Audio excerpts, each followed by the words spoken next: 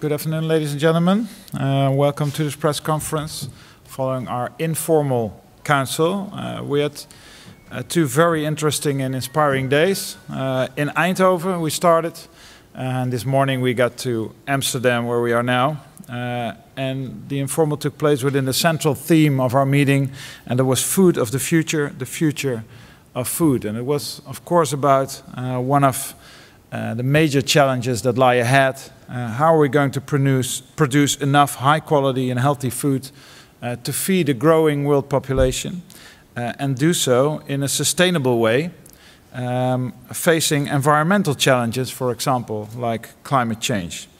Uh, yesterday we had an inspiring program that was all about innovation. Um, because we think innovation must always play a major role uh, in when we look to the future of our food system. So we organized uh, a special exposition for the ministers in Eindhoven, which can be visited all week uh, by the public.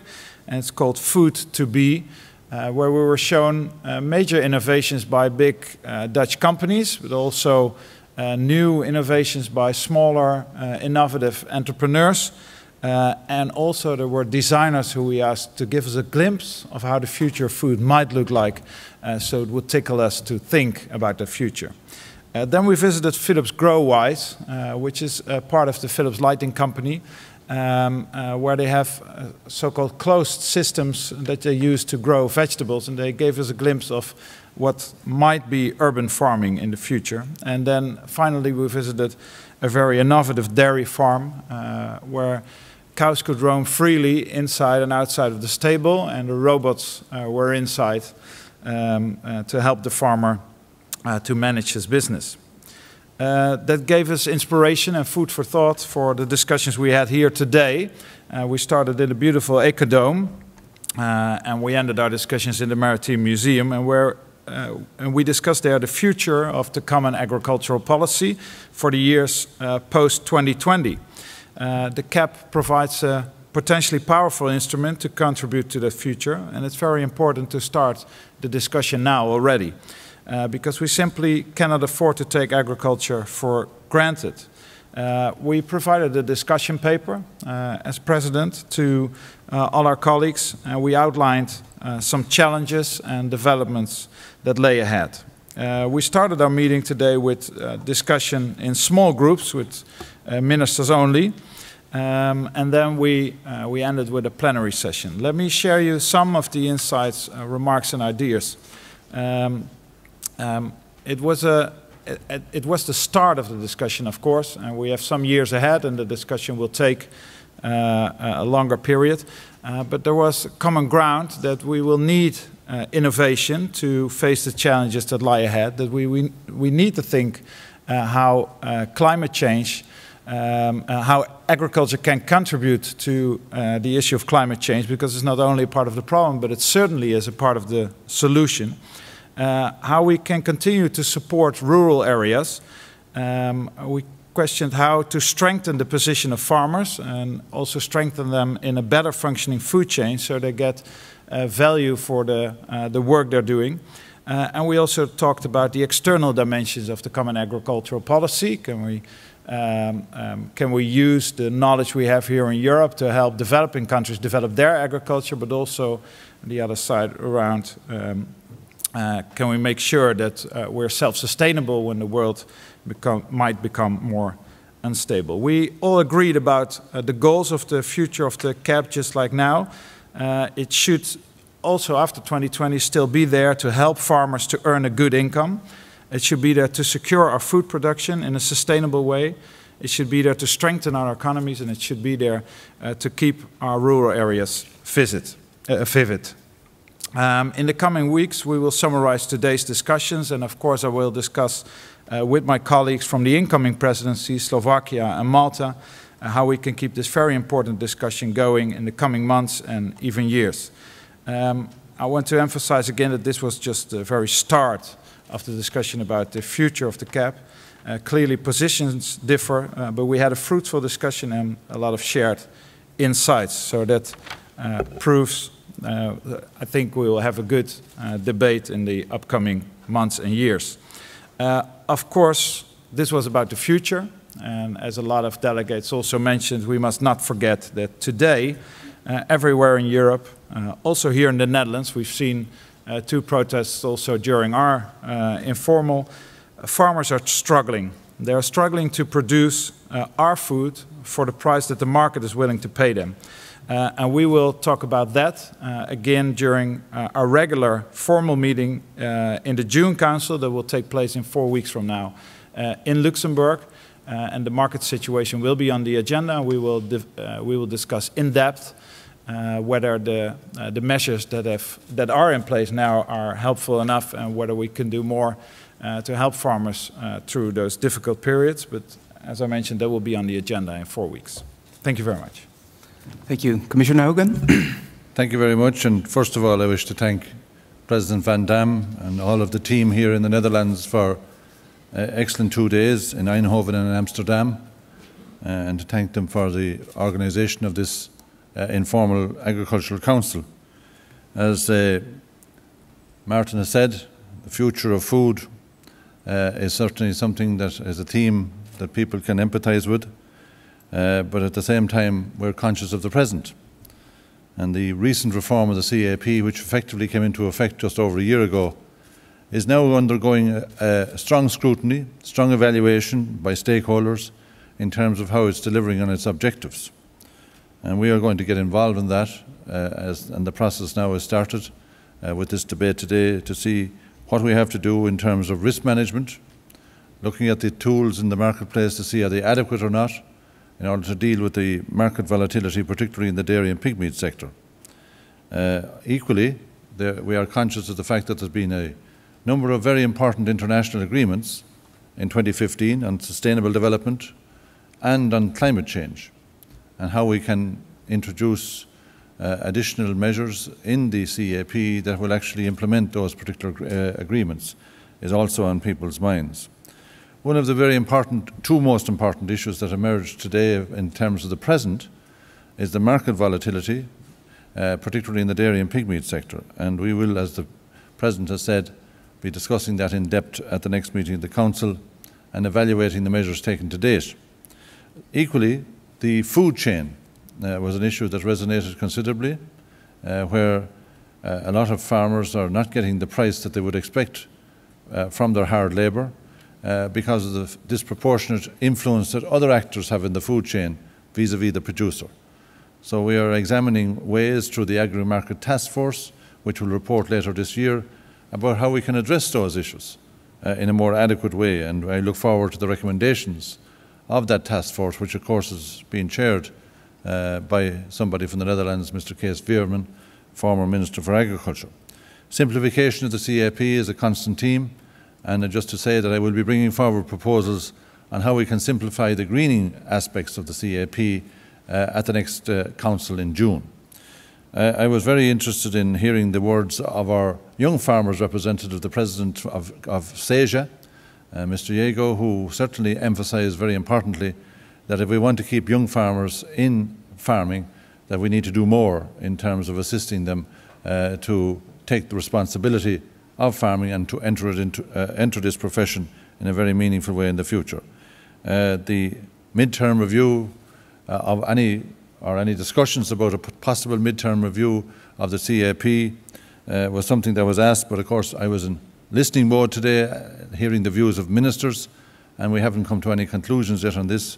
And it was interesting that some ministers said that there is some reform fatigue around the place with their stakeholders in relation to the fact that we've just had a CAP reform and it's being implemented at the moment and that more work needs to be done on the proper implementation of the policy that we have at the moment uh, before we start down the road of uh, wondering to know whether we should make substantial changes to the existing policy. So thank you for those opening remarks and of course I'm available for questions. Thank you, Mr. Hogan. Uh, we will now take some questions. Um, please may I ask you to use the microphone and state your name and the media you work for. Um, who can I give the first question? Yes, please.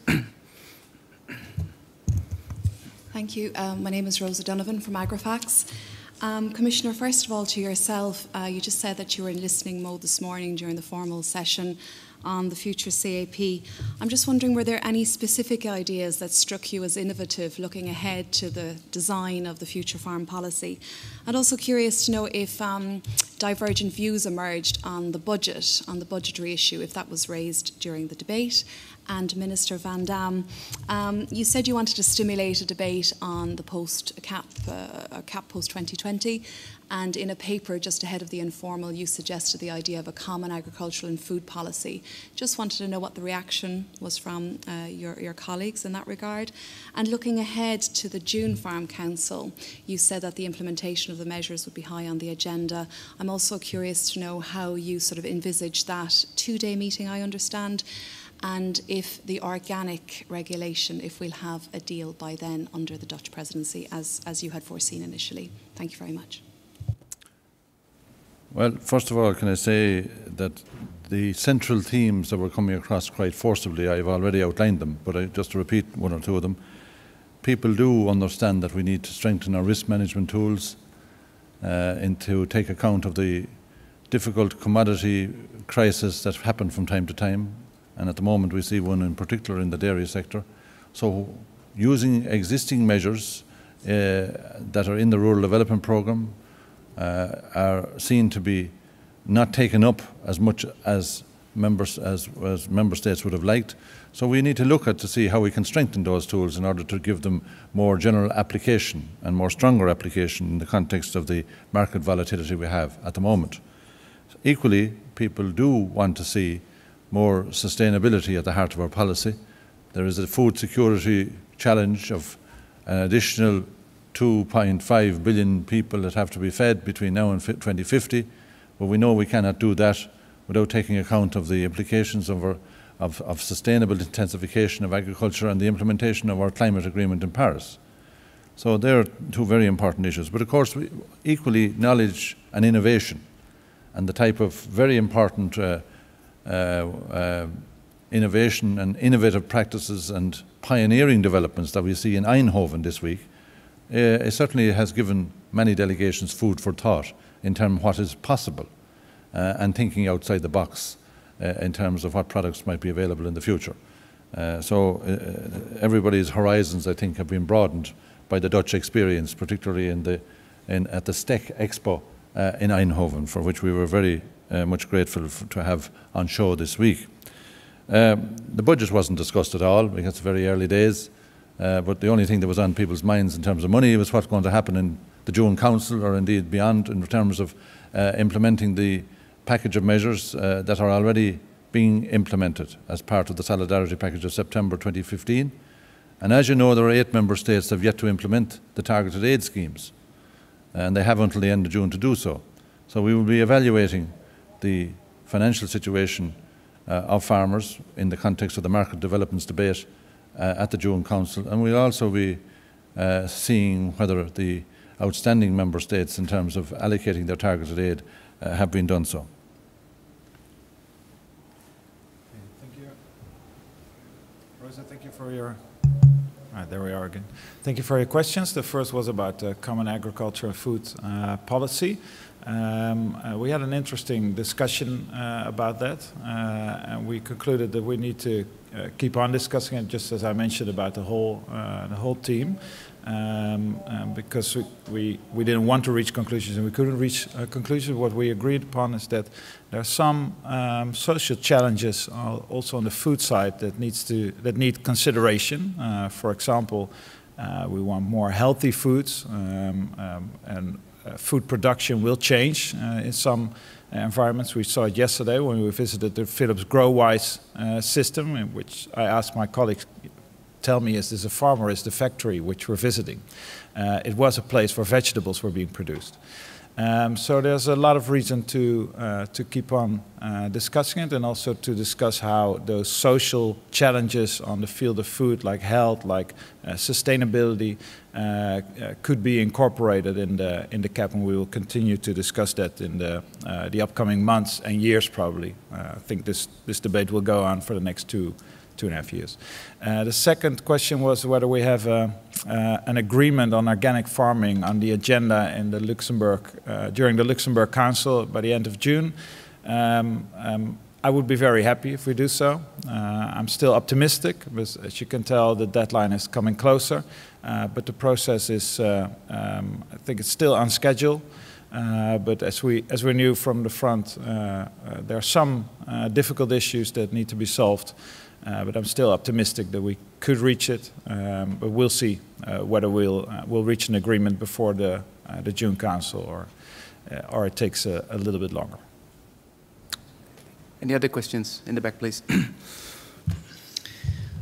This is a, a, question for the Commissioner. My name is Sofia Spirou from Kathimerini in Greece, and it's about the state of play of the negotiations with the SADC and of an issue that's of particular interest to Greece, which is the protection of feta cheese.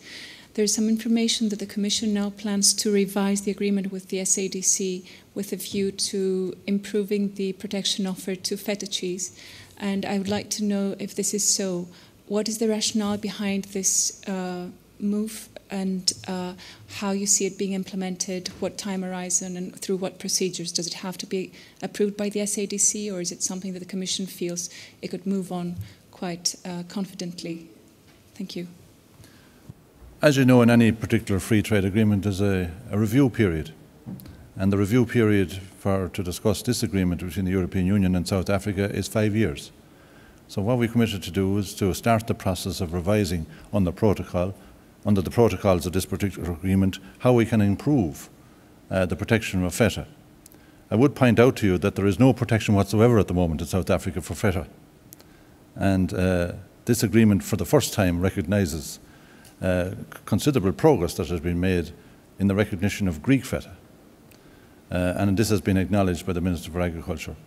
Uh, and we have had considerable success in the recognition of GIs in many of our free trade agreements in South Africa, but also in the Canadian and Vietnamese deals. So we aspire to give the maximum pr protection for all of our GIs in any of our free trade agreements, including the ones we're negotiating at the moment with the United States of America, and indeed with Japan. So what we're doing in Greece uh, uh, with the Greek government is emphasizing the fact that we will revise where possible uh, in discussions in five years' time as part of the normal review uh, the uh, issue of protection of feta cheese, but also in the meantime we will signal whatever we can do to promote with the Greek authorities and stakeholders feta cheese in South Africa.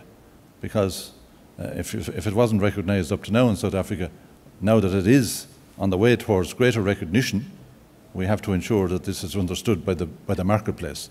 And we're prepared to put uh, our support behind promotion funds, uh, and uh, part of our promotion and quality policy will be at the disposal of the Greek stakeholders in order to make sure that it's well known the value, the heritage uh, associated with this very important product in Greece. Any other questions? In the back, please, to the right. Jan Braakman, Boerderij Farmers Weekly in the Netherlands. Um, my question is a little bit off topic, but anyways, uh, important for farmers.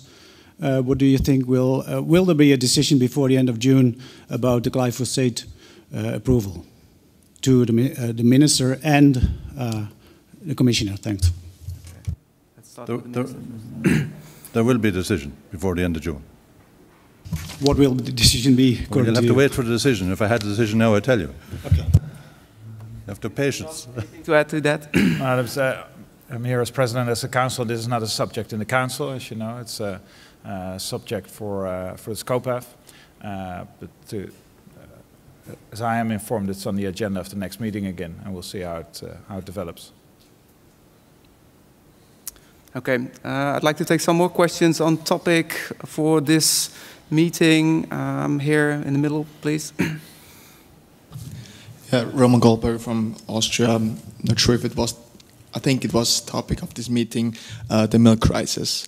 Uh, COPA Cogeca asked or suggested uh, financial incentives to help uh, regulating the milk production in the EU. Um, is this a realistic option and is there a budget therefore?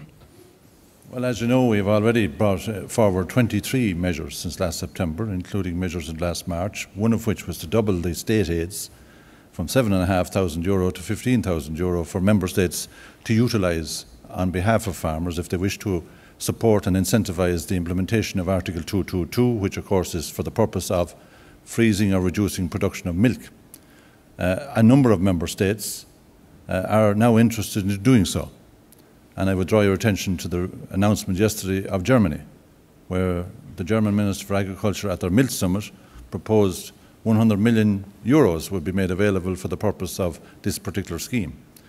Of course, we have to look at the detail of this particular proposal, but uh, in media reports, as all that I'm going on at the moment, that this is an indication that Germany and indeed other countries have been in contact with our services to get more information and to see how this particular scheme could be implemented.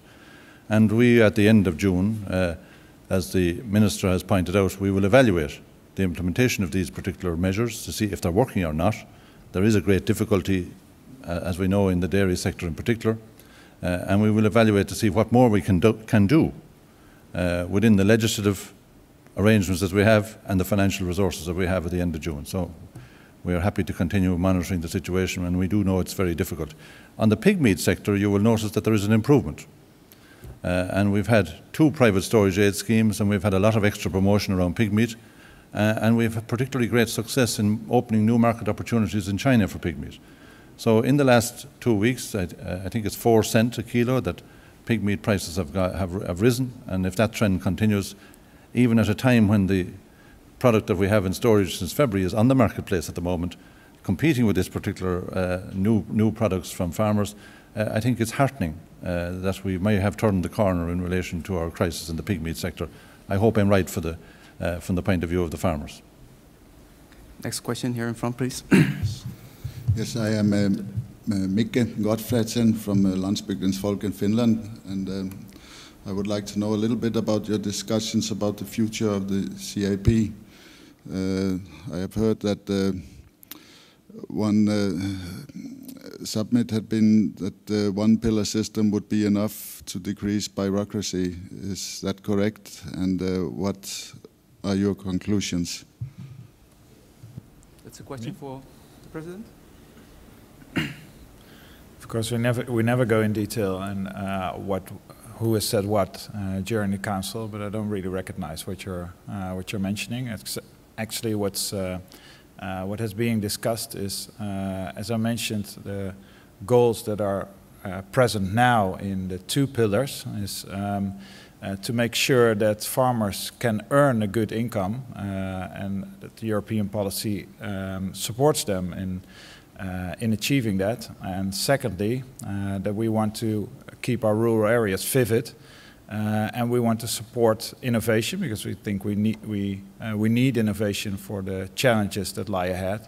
And as you know, the goals uh, I mentioned are present in the two pillars that we have right now.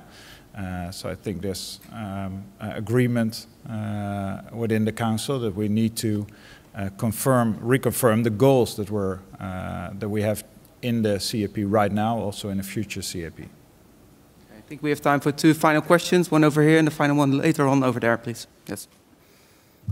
All right. Um, I'll cheat a bit then because I have one question for Mr. Van Dam and one for... Also your name, please. Yes, excuse me. Uh, my name is Wim van Grijzen. I write for Agrio Publishers. Um, my question for Minister Van Dam. Um, in the discussion paper, you talked about the possibility to reintroduce uh, price support. Um, to reintroduce price support for farmers. It was point 0.4 if I'm not mistaken. Um, did you get any, get any support for that uh, idea and from which member states? Um, and for Commissioner Hogan, you spoke about strengthening the position of farmers in the food chain. Um, the current CAP uh, introduced uh, the possibility uh, to get, uh, what is it, uh, branch organizations and and producers organizations specifically with that idea. Is, uh, are the branch organizations and producer organizations not enough to, uh, to strengthen the position of farmers? Is that uh, a failed idea?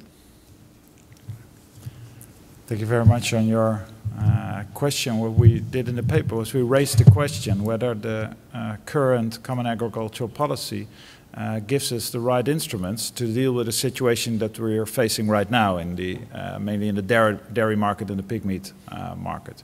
Uh, and we said it's good to discuss uh, other instruments that, that are possible, like other financial instruments, uh, other price instruments, or instruments like they have in the US. And as I mentioned earlier, the, the conclusion is that we have to discuss all the questions that are in the, in the discussion paper um, we have to discuss them in the upcoming uh, upcoming future. What was the, uh, the, the the vision of the individual member states? You have to ask them, as you know. Price. Uh, can you tell me if there was any idea for any support for the idea of uh, reintroducing price support? I, I, think I mentioned in my uh, introduction that uh, today we didn't want to achieve uh, conclusions. That's not the, uh, the setting of the informal council. Uh, it's the start of the debate. so the conclusion is that we will continue the debate and we will discuss the issues that were mentioned in the paper, and, as well as some other issues that were put on the table by some other member states. we will continue to discuss them in the upcoming months and, and probably years. Uh, that's the actually the only conclusion you could uh, you could take from today because that was the goal of uh, of today was the start of the debate and not to conclude it. Just in relation to uh, the food chain, uh, you're quite correct that the, the, establishment and support for farmer organisations to come together in the form of producer groups to give them greater collective bargaining is a key particular objective of the CAP, and it's working quite well. But what's not working well is that is the type of contractual relationships that that, that producer organisation ultimately is able to negotiate uh, with the other actors in the food chain. And we are evaluating uh, what is happening in France and in Spain and the UK and in Lithuania, who are four member states that have given us good examples of what national legislation that they have introduced to try and help the position of the producer as part of the food chain. Uh, and we are uh, using that information as part of the work of the Agri-Market Task Force, which, as I said, will report later this year, uh, to see what recommendations in the area of producer organisations, in contractual relationships, contractual agreements, and to identify what best practice there is in those member states to see if we need to have, if necessary, an EU framework or harmonised rules uh, for all member states to deal with the issue of uh, giving a fair price to the farmer uh, in the context of all actors in the food chain. So it's work in progress. It's, it's a new concept, but we are deepening our relationship with the member states in relation to this matter to see how we can get uh, best practice implemented right across the European Union. Okay, and finally over here, please. Hi, Marine Laouchez from uh, Agence France Presse. I'd like to come back to the dairy crisis. Um, do you have um, an idea of uh, the calendar? Because you say you're going to discuss some ideas in June, but um, I know there's a problem of maybe finding some more money. There's some ideas floating around, but do you think you can come up with something before the summer, or would that be for September, October? It's a question for are, are, are member states pushing for something to happen before the summer? Is the question for Commissioner Hogan? Uh, both of them, actually. Well, can I say that there's always pressure for money. I've never been at a meeting yet, but people didn't want money. Uh, but we have a we have a, we have a limited amount of resources, uh, and we have introduced 23 measures. Some of them are starting to work, but obviously, from the point of view of a dairy farmer, they're not working fast enough. Uh, and we have substantial increases in our exports, so our promotion uh, budget is working very effectively. We've 111 million euro in our promotion budget this year, of which 30 million is ring fenced specifically for dairy and pig meat promotion and third country markets are actually beginning to, now to purchase pig meat and dairy products, particularly in China, in a substantial way again. So we will, as, as, as uh, President Van Dam has said, we will look at the situation at the end of June to see if the measures are working, and if they are not, let's evaluate them and see what we can do to improve them. Uh, that not, you don't always need money in order to improve the situation, uh, and therefore uh, we will uh, we will have to, of course, very hard for me to be looking for money when eight member states have not spent the money I gave them last in part of the targeted aid package last September. Uh, but uh, I think we'll be in a better position at the end of June to see where we are. President Van Dam. Um, I recognize what the Commission is saying, that there's always a request for more money, of course. uh, from the member states. But the real question now is, uh, I think we concluded earlier in the council that um, the uh, the situation on the dairy market is a situation of overproduction. There's too much production, and that has caused the price to uh, to lower, uh, and that brings a lot of dairy farmers in a very difficult situation. Um, in last March, we took extra measures uh, on top of the package of last autumn, and one of the most important there was that we gave dairy farmers the opportunity to make uh, uh, to make agreements uh, together uh, within their cooperations, but also between their cooperations about uh, production levels. And that's a, a very important step because normally it's not allowed to make pr production agreements. Uh, now it is allowed. Uh, what we're going to evaluate in, uh, in the next council in June is what has been the effect of these measures. We see that it's, um, um, it isn't used uh, yet, uh, or it is, or, or, well, not on a large, large scale uh, for certain. So we're going to evaluate why that is and, and if agreements are still underway or um, whether or not the package that we have on the table is, uh, is working. And uh, with that, we have a debate on whether uh, the measures that are on the table are, um, are good enough or that we need something extra. But I think that's the, Uh, the process that, we're, that we will go through. Okay, that concludes today's press conference. Thank you all for visiting, and we hope to see you all in June with the next formal council in four weeks' time. Thank you very much.